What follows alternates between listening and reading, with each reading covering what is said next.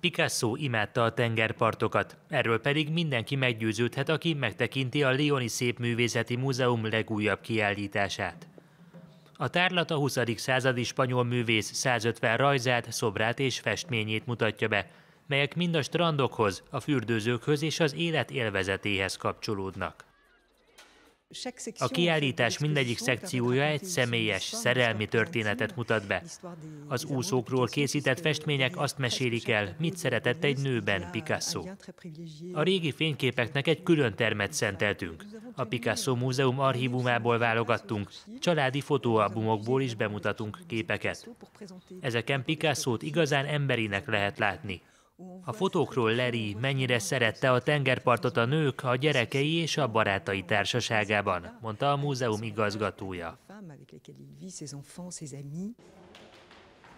A kiállításon szerepet kapnak olyan művészek is, akik inspirálták Picasso-t, például Monet, Gauguin és Cézanne, valamint olyanok is, akikre a spanyol mester volt hatással, mint Francis Bacon vagy Farah Atassi.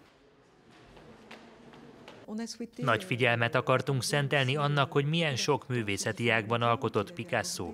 Természetesen vannak festmények, de ritkán látható, sérülékeny rajzokat is bemutattunk, és az első szobrai közül is jó párat meg lehet nézni.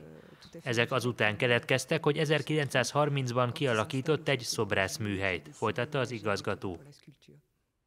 A világjárvány miatt a szokásosnál kevesebb embert engednek be a múzeumba, de a kiállítás majdnem fél évig tart, és online is lehet jegyet venni rá.